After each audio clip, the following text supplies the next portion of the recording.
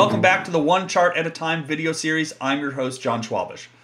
Now, one of the great things about working at a place like the Urban Institute is I'm surrounded by people who are not only trying to improve the world around us through their research and through their data analysis, but I'm also surrounded by people who are exploring new tools, new techniques, and new data visualization methods. And so today, to help us understand what a dot density map is and how to create it, I invited my Urban Institute colleague Aaron Williams to help us. Now, I learned basically everything I know in R from Aaron. So if you ever need a good teacher, he's the guy to go to. So Aaron's going to help us understand what a dot density map is and even an example from the Urban Institute that really exemplifies, I think, uh, how these can be valuable and how these can be useful. So, Aaron, off to you. Hi, my name is Aaron Williams, and I'm a data scientist in the Income and Benefits Policy Center at the Urban Institute. Today, I'm going to share dot density maps. A dot density map is a visualization that represents data as projected points on a map.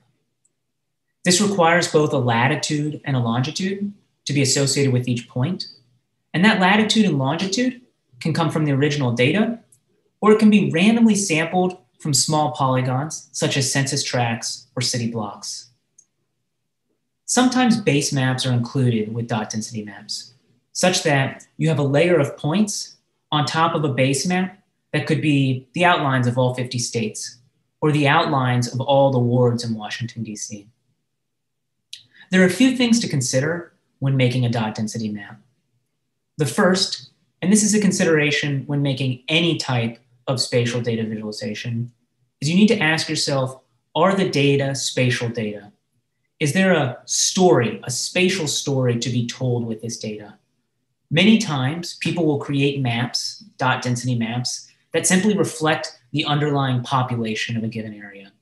For example, showing all 50 states, and there's a high concentration of people in the Northeast and on the West Coast, and not many in the middle. That's not a particularly interesting spatial story to tell. So just ensure before making a map that you have a spatial story. A second consideration is overplotting. Overplotting is when glyphs or points from some observations cover up and obscure glyphs or points from some other set of observations. And this commonly occurs when the number of observations in your visualization increases. This is very common with large data sets today now that large data sets are, are very in vogue. A third consideration is computation. So in a program like R, most data visualizations will re uh, render almost immediately. But because we're dealing with spatial data, which has polygons that have lots of vertices and also our points, it can take several minutes for a dot density map of the entire US to render. Now I'm going to share one dot density map that I like.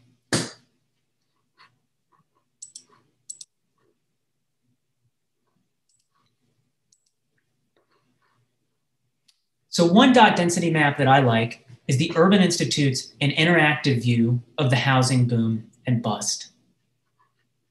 This data visualization is a dot density map that contains the 48 states and the continental United States. The data come from the Home Mortgage Disclosure Act and contain race and ethnicity information for every single mortgage in the United States from 2001 to 2019.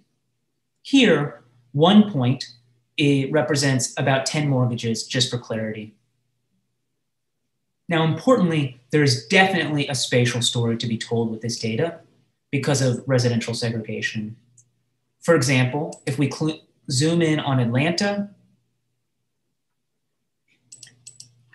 we see that on the south side of Atlanta, many mortgages are held by people who identify as Black, whereas on the north side of Atlanta, many people who hold mortgages identify as white. Now, the points here aren't necessarily transparent, but as I mentioned earlier, one dot equals about 10 mortgages. This is to avoid that overplotting issue that I mentioned earlier. Finally, the creation of this map actually took a long time and a lot of computational power, but it has since been rendered in a web browser so that it's quick to explore, both spatially across the United States and also across time, going all the way back to 2001 and coming all the way up to last year. Thank you so much. I hope you found this useful, and I hope you get an opportunity to make a dot density map in the near future. Aaron, thanks a lot for that great summary of what a dot density map is and that great example from the Urban Institute. I hope you, the listener, and the reader, will be able to use a dot density map in your own work. There's lots of great tutorials out there at the Urban Institute GitHub page and lots of other R tutorials out there that you can use to create your own dot density map. So until tomorrow, this has been the One Chart at a Time video series. I will see you then.